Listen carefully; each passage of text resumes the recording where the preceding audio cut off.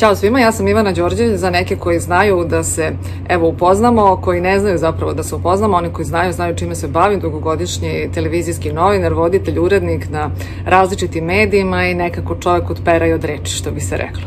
Kada pričamo o diskretnim herojima i heroinama, moja priča može da bude vrlo, vrlo interesantna imajući u vidu da imam utisak da sam gotovo čitavog života na nekom novom početku. Ono što u svemu tome radosna vest jeste što me to nikada nije destabilisalo i što me nikada nije demoralisalo u meri da odustanem. Kada pričamo o herojima mog detinjstva, ja bih krenula možda od toga kako se kalio čelik, kako sam zapravo ja kako sam zapravo ja iz najbližeg okruženja negde imala prilike da vidim lekciju o neodustajanju. Između ostalog, čitava moja porodica, jedna vrlo karakterna porodica, pre svega moja baka koja možda nije znala šta su odnosi s javnošću, ali je znala šta se priča u javnosti, šta se ne priča, šta treba zadržati za sebe. Ako imamo, kaže, da se pohvalimo, mi ćemo da kažemo, ako nemamo, mi ćemo da ćutimo. Tako da te neke prve lekcije o tome šta se priča i kako se vladati u društvu i kada ti je najteže i kada ti je najlakše, zapravo naučila sam praktično nisam možda ni želela da naučim, ali naučila sam u hodu, tako reći od malih nogu. Ono što sam kasnije u roditeljskoj kući naučila jeste da u životu moram da budem prodorna. To sam naučila od mog tate koji nije bio a, preterano obrazovan čovek, ali ima ono što bi se zvalo život u punom potencijalu i a, zdrava logika. Zdrava neka ta narodska logika, to je nešto što mene odlikuje danas i možda od svojih roditelja nisam dobila neko veliko bogatstvo u nasledstvo, niti sam dobila možda kule, gradove, avione i kamione, ali sam, što bih ja rekla, tu zdravu pamet nasledila i tu neku snalažljivost urođenu dobila, tako da što se mene tiče za pametnog dosta.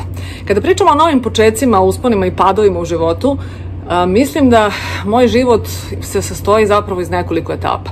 Javnost zna možda ovaj poslednji deo koji se tiče medija, koji se tiče moje knjige neka mnogo bitna i tog nekog medijskog prodora. Međutim, to je nešto što u mom životu postoji možda najevidentnije, ali ne možda najduže. Zato što sam mnogo pre nego što sam postala medijski radnik i javna ličnost, ja sam radila u državnoj službi kao pomoćnik Saveznog državnog tužioca. To je bila jedna vrlo odgovorna funkcija. Ja sam tada imala svega 20 desetak i kusur godina. Vrlo onako, kako bih rekla, odgovorno, vrlo interesantno, sa nešto malo putovanja po svetu, u sastavu državnih delegacija i tako dalje, tu sam videla primenjeni PR. I tada sam videla šta je odnos moći u politici u odnosu na običan svet. Zašto ovo pričam? Zato što mi je to kasnije mnogo, mnogo pomoglo kada sam ušla u medijski svet. Šta to znači? Kad jednom pregrmite tu fascinaciju sa tim šta znači velika količina moći, kasnije ništa ne može da vas fascinira. Što bi reklo, ništa ne može da vas povede nekim pogrešnim putem. Sigurno gledaoci tvog kanala znaju o čemu ja sada ovde pričam. Zašto je sve ovo bitno i zbog čega moramo hronološki da idemo? Zato što kada sam siguran posao, državni posao, znate kako kod nas godinama se taj e, državni posao nekako drži onako na pjedestalu i bez državnog posla ništa. Ja sam živi dokaz da država može da propadne zato što je Savezna Republika Jugoslavija slavno propala, tako mogu da kažem slobodno, u istorijskom smislu je prestala da postoji i u tom nekom zvaničnom smislu ja sam imala opciju A i opciju B u životu. To je vrlo važno da, da imate makar dve opcije, da ne budete pred svršen čin. Ja sam imala opciju da ostanem i da gradim svoju karijeru u državnoj službi. Ja tu sebe više nisam videla. Prosto kako bih vam rekla, doživala sam da nešto što je bilo u komadu, da će se to rasparčavati na mnogo manje jedinice mere, jedinice moći i da ću ja tu morati iznova iznova da se dokazujem i da neke pozicije koje sam već tako reći ostvarila i osvojila, da ću uvek iznova iznova u nekom kabinetu morati da dokazujem i pokazujem koliko vredim i znam. Umeđu vremenu sam završila svoj fakultet, to je ono što je interesantno, fakultet koji se tiče novinarstva, zapravo to je ono što je što mene od samog starta pratilo, znači ono kažu učena žena. Učena žena je doživjela svojih pet minuta i nemojte da mislite da je odmah bilo jednostavno početi, opet je trebalo početi od nule. I sada iz te jedne kako bih rekla, visoke klase, gde ste sedeli sa političarima i sa predsednicima država u kabinetima, gde se vaš potpis, vaša reč i sve što radite važilo, vi sada dolazite konkretno, ja dolazim u situaciju da se bavim show biznisom. Znači, to je onako kada nekome sada kažete, nije to bilo meni ponižavajuće, meni je to bilo novo i meni je bilo prosto neverovatno da ja za tako malo truda mogu da dobijem mnogo, mnogo više novca Pazite kako to sada zvuči. Kad kažemo malo truda, znate na šta konkretno mislim. Mislim konkretno da je mnogo jednostavnije u životu se baviti time ko je snimio novu pesmu, gde je ko leto, zimovo i tako dalje, nego baviti se državnim tajnama i državnim pitanjima. Za početak, za mladog čoveka, jedna olakšavajuća okolnost.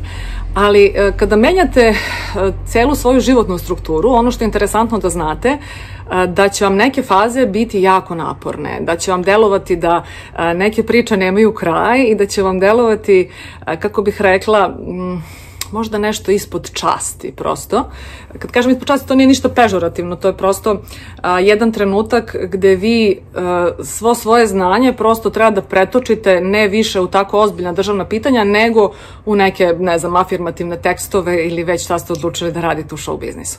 Ono što je isto interesantno kod uspona i padova u životu jeste, znači rekli smo nema predaje, nema posustajanja, šta god da vas nađe na noge ćete se dočekati, nećete biti gladni, niko nije umro od gladi u 21. veku i u 20. znači znači pričamo znači o, o upornim, vrednim i a, radnim ljudima koji imaju radne ljudske kvalitete. Međutim, šta je interesantno? Interesantno je što ćete se nađete u novoj životnoj poziciji, isto morate da radite. Znači, sve one lestvice koje ste prošli na prethodnoj, sada to sve idete iz početka. I to treba shvatiti kao sastavni deo života. Ne treba to shvatati kao, kako bih rekla, otežavajući faktor, niti kao nešto što, zašto se sad meni ovo dešava, zašto ja nemam sreće i tako dalje. Ispostavi se, ispričat ću vam kasnenu priču koja će biti jako ilustrativna i ispostavilo se kao jako tačna, da svaki taj, kako bih rekla, svaki taj korak koji napravite, znate kad konj trči sa preponama, znači pa ono kada preskočite. Sve to ima svoje zašto, jer vas to uči da u životu kasnije raspoznajete neke šanse koje vam se pružaju i utiče na vaše brzo reagovanje kada se nađete u nekoj problematičnoj situaciji. A inače priča koju sam htela da vežem za ovo, e, čovjek je gledao, mislim priča je univerzalna nađena na internetu, e, čovjek je gledao kako e, iz larve hoće da izađe leptir i bilo mu je žao kako se leptir muči, jer leptir se zapravo muči kada treba da izađe iz one svoje kukuljice.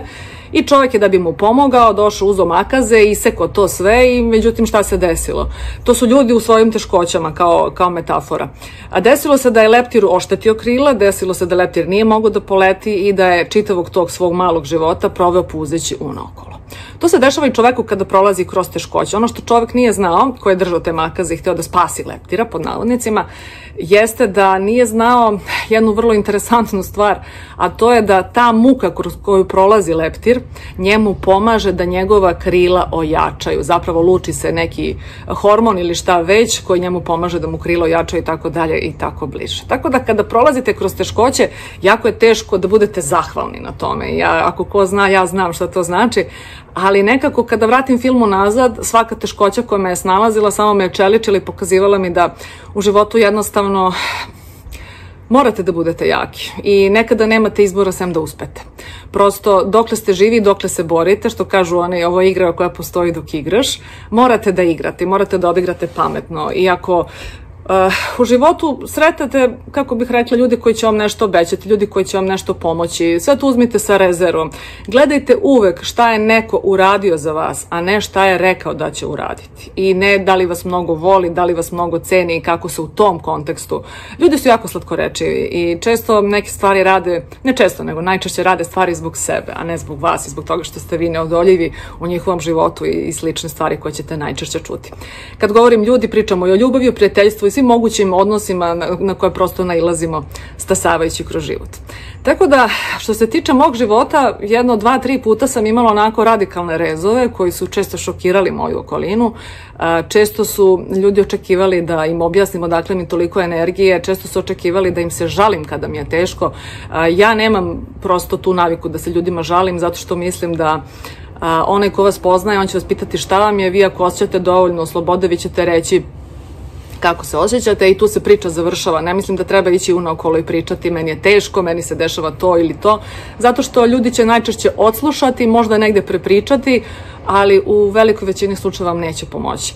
Zato što sve u ovom životu što radite, radite sebi i zbog sebe, eventualno zbog svoje dece. Tako da ne znam koliko sam odgovorila na temu, ali evo pokušala sam da jedno svoje malo životno poglavlje prepričam, ispričam, objasnim i možda ljudima koji ovo budu pratili objasnim da Kasno je onda kada vi proglasite da je kasno, kraj kada vi kažete da je kraj, ne kada vam okolnosti nameću i kada vam je teško. Jer ako niste sve završili što ste nameravali, onda jednostavno nije kraj.